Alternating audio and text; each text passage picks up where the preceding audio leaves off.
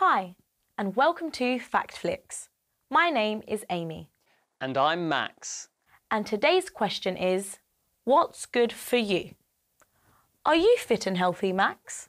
Um, yes, but not as fit as these guys. Who are they? They're competitors in a senior marathon. You're kidding. No, I'm not. People are living longer and longer these days.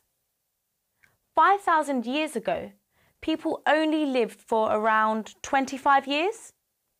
But scientists say that 3.7 million people will live to be 100 years old by 2050. So, Max, maybe if you do some exercise, you'll be fit when you're 100 too? Hey, I do enough exercise. I walk from my bedroom to the living room to play computer games. Uh, playing computer games isn't very good for you, Max. It's unhealthy to sit in a chair all the time. I play football too. I love sport. I know, you are very sporty. And that's good because you also love pizza. Oh, I do love pizza. Oh, I want one now. But pizza isn't good for you. Did you know that one pizza contains around 800 calories? It takes four hours of walking to burn all those calories. Four hours of walking to burn the calories from one pizza. Okay, well, I can take up running. Then I can burn the calories faster and have another pizza. Good idea. Unfortunately, most people don't get enough exercise.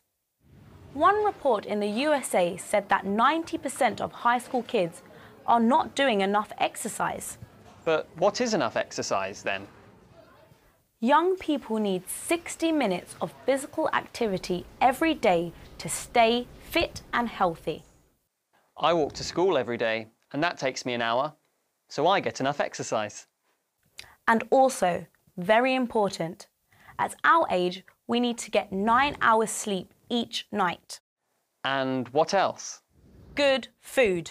Yes, pizza. I'm talking about healthy food, Max. And the best way to avoid putting on weight is to give up sugar. I try to avoid eating too much sugar. Did you know that in the UK, the average person eats 10 kilograms of chocolate every year? Yes, I believe that. I eat a lot of chocolate. Do you want some? Yes. Uh, I mean, no, actually, uh, just a little bit. Bye, everyone. Bye.